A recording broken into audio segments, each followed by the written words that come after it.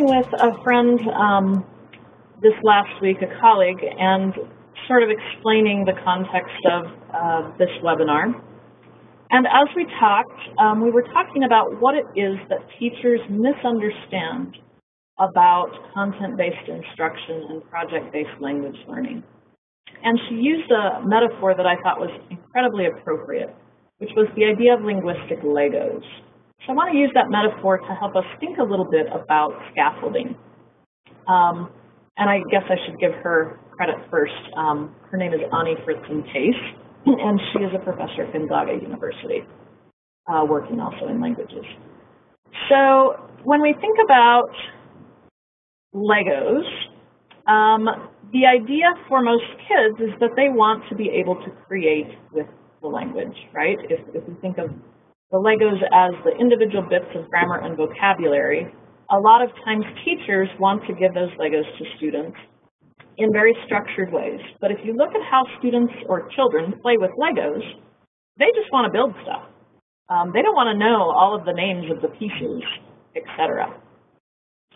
And a lot of language teachers say, well, that's great, and yeah, you can let students experiment with the language, but the bottom line is my beginning language learners, they need more pieces before I can let them do anything with the language. They can't create with language till they have more language. Um, my thinking about this is what if learners just need different pieces? If we're giving them the same thing every single day, um, it doesn't motivate or inspire much of a desire to create.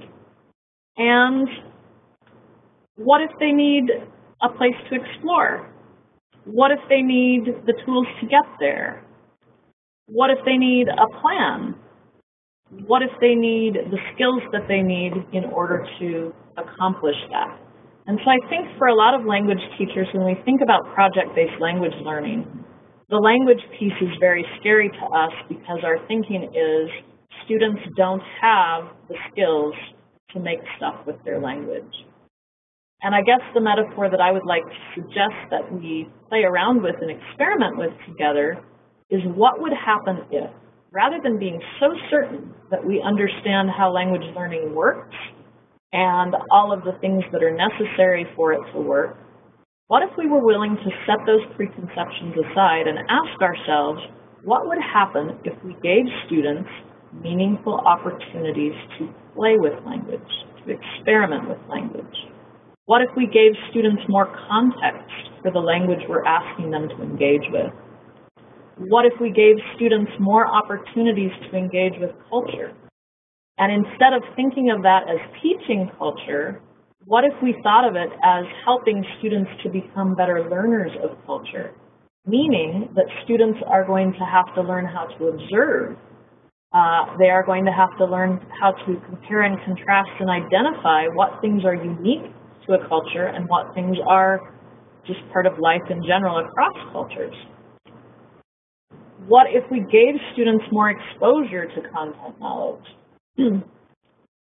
and more opportunities to take their linguistic Legos and just play, just experiment? And I think that one of the things that we forget as teachers because we've spent so much of our lives trying to learn how to present content is that a lot of the joy of learning comes from playing. Playing with new ideas, thinking about things we've never thought about, being exposed to stuff that is novel and interesting. And I think that is what project-based language learning does. When students have interesting ideas to think about or interesting issues that we raise, they can't help themselves. They want to communicate about them. And if we are careful about how we structure their language learning environments and experiences, we can put the supports in place so that they can actually be successful. Now, are they going to be speaking at the paragraph level in a level one class when we ask them to debate something? No. And I think that's part of what we have to accept as well, that they're going to be engaging with the content in linguistically simplistic ways that are conceptually complex as students play with language, they see different possibilities, and that shifts their perspective and their reasons for learning language. I really like this example of the metaphor. Um, this is a 12-year-old kid, you may have seen him in the news recently, who basically figured out how to take a Braille printer or how to build a Braille printer with Legos. And in doing so, he was able to drop the cost of the printer's creation from something, and I don't remember what the original figure was, to about, I think it's, I don't know, but more than, by more than half. So essentially what he did is he made the Braille printer affordable for people who could not afford to buy the commercially produced ones by choosing to make it out of Legos. Now, if we think about that in terms of a project, what are some of the things he would have needed to see or hear or understand in order to do that? Well, first of all, he needed to have some measure of understanding, you know, conceptually, about what some of the problems and issues of being blind are. Secondly, he had to have some sort of interest or concern about the fact that there is a problem for, you know, of access in, that is based on socioeconomics. The third piece is that he needed opportunities to play around, to put pieces together, to think about, oh, what could I do about this problem? Um, and you can read the story yourself um, after the, the webinar, but I think that this is ultimately sort of the direction we want to go with language learning, is to, when, when students have meaningful reasons to think about um, their language and to use it for a real purpose, it completely changes not only their engagement, but what they're willing to go find out and persevere in order to accomplish. Okay, so what does that do for us in terms of scaffolding? Well, there are lots of places where project-based language learning or language learning of any kind in any context can break down. Um, this is sort of a very simplistic model, but I think it's useful in helping us to think about, okay, so if I want students to do something that complex, especially with content that they don't already know, and especially with language that they don't already know, where do I have to put in the supports? And I think most of us think, oh, it's just the language. I have to support their language. My suggestion to you is that it's not the language per se, although that can be a, a useful and an important piece. That's the piece we're all the most worried about. But I propose that if you are providing adequate support in all of these other areas, a lot of the things that you're worried about with regard to the language take care of themselves. So creating a classroom environment where learners feel supported, where learners feel like they can take risks, where you have very clear routines and procedures for uh, routine tasks that learners are going to complete can be a powerful piece, and, and in fact I would say it's an essential piece of successful project-based language learning. Um, if everybody's always confused about what they're supposed to do and when they're supposed to do it and how and why, then you as the teacher become the sole purveyor of all of the answers, which means you as the teacher have to make all the decisions, answer all of the questions, etc. But in a project-based language learning classroom where the teacher has really cultivated an environment of risk-taking and interdependence and taking initiative and self-responsibility and self-assessment, students start to take on a lot of those tasks students start to support and help one another. And students are willing to play and experiment with language because you have removed a lot of the social anxieties that they feel about doing that. Mistakes are okay.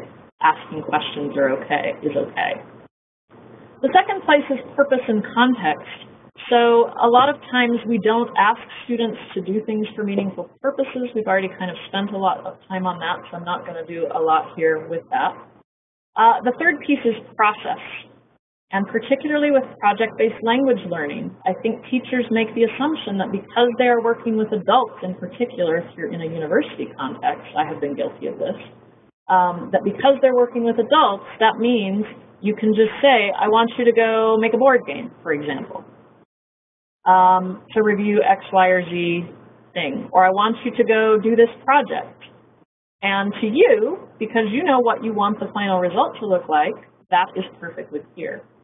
But for learners who don't have the content background or the language background and who may not necessarily even have the, the process-based skills, the, the critical thinking skills, the technology skills, etc., that is an overwhelming proposition. So when I'm thinking about scaffolding, say we'll use the board game example, I want to create supports that are actually going to use the language to lead students through every decision they have to make during that process. So the first decision is who's going to be in your group. And I'm going to put on my worksheet in very simple language, you know, write down your group members' names or whatever, you know, in my target language. The second piece is that I'm going to ask students to think about games that they already know. So I'm going to activate their prior knowledge and say, what are some of the games that you have played before? Make a list. Then the third step is I'm going to ask them to analyze their own personal experience. Now that they've made a list of the games they've played, what about those games makes them fun to play? And so maybe they're going to list a few characteristics. And if I don't feel they're going to have the language to do it, I might give them a word bank. And I might use visuals to help them understand what those words mean. Then my next step is going to be, well, what pieces, you know, which of those things that make games fun to play are you going to use in your game? Cir circle them.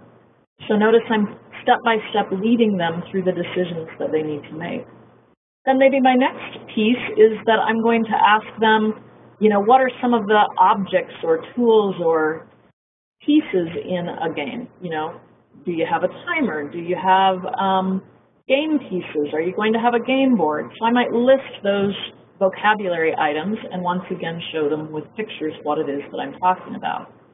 So by the time we get to the point where they're actually ready to think about their game, and maybe I've said, you know, a lot of games are created based on different um, real life ideas. So they're based on the idea of a hospital and operation, you know, having an operation, or they're based on the idea of decisions that you have to make in life, or whatever the case might be. So I'm going to refer to games I think they know about in order to have them pick the context for their game. So by the time they've made it through the end of that worksheet, they've acquired a lot of vocabulary, they've connected the purpose of whatever it is I've asked them to do with their own personal background knowledge. They have had to critically analyze the task and figure out or make decisions about all of the pieces of the task so that now when they sit down to actually create the game, they've already made the decisions. And when they're working in their groups, now it's an easy thing to sort of move things forward. Content is the third piece, and then the last piece is the metacognition of the learner. This is how we typically think about scaffolding content um, as teachers. We think, okay, they're going to play with the Lego bricks, and so I'm going to give them all of the technical detailed information they need, or you know, technical detailed information about that content, uh, and that will be my scaffolding. And yet if I were to hand this to a five-year-old who wants to play with Legos, this is not helpful in any way, shape, or form. They don't care. They just want to build stuff. When I look at how Lego approaches scaffolding, I learned some really important lessons about scaffolding language learning. The first thing I learn is that they detail all the parts. The second thing that I learn is that students are given very visual instructions. Most of what they have to do is visual. Now, while we as language teachers aren't just going to give the students pictures, um, what that does suggest to me is that organizing things visually, like worksheets, uh, how we set up the templates and materials really does guide students' thinking. The third thing you'll notice is that each instruction, each step of the instruction, happens one piece at a time. So I can visually see what changes from step one to step two, from step two to step three. And when I come down here to these little steps where I have to build the house before I can put the house on, they have given me separate instructions for that. This is something that I see language teachers um, have problems with a lot is that we assume a lot of prior knowledge on the part of students and so we skip steps.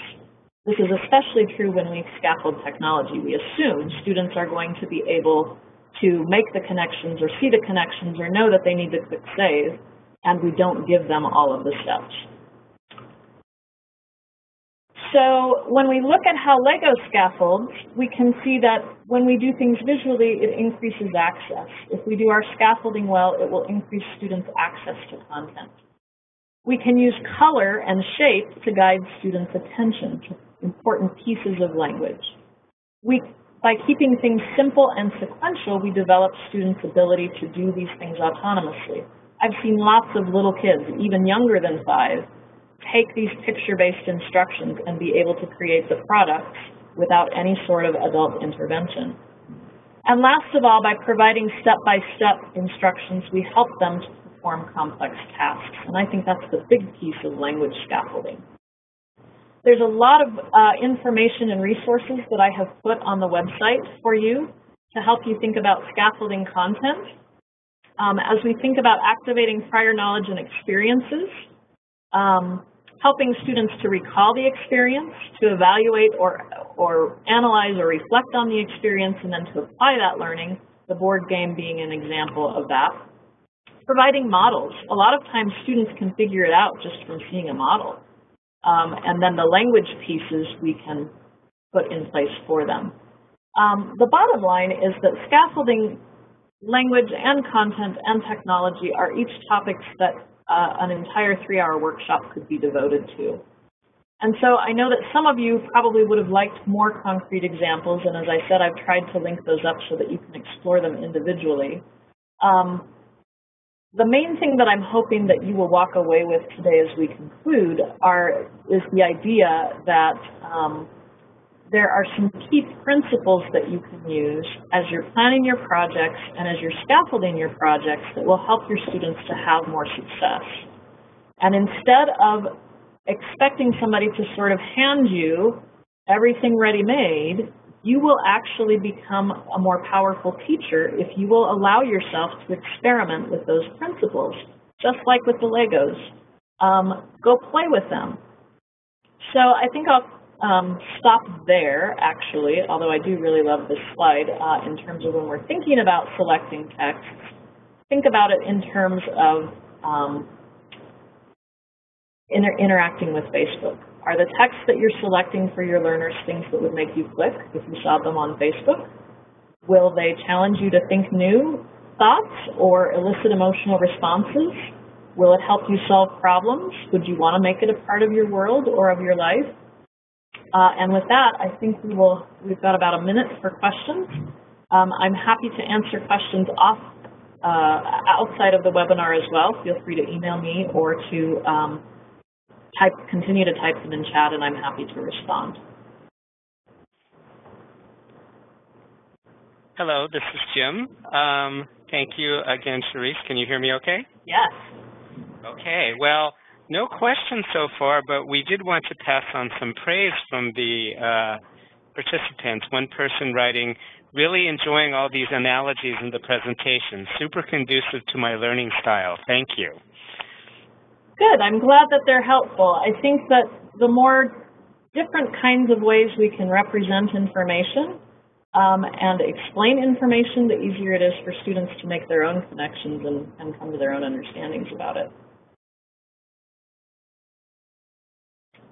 All right. Well, with that, thank you very much for your participation today. Um, I do hope that you'll take the time to explore some of the resources. Um, there, most of them are in English, but there is one link uh, in the resources that will take you to a wiki where I have compiled a lot of these templates, especially for Spanish teachers, but also some for French and Chinese, although it is in traditional Chinese. Um, so you might take a look and see what's there and see if it gives you ideas for how you might scaffold your project.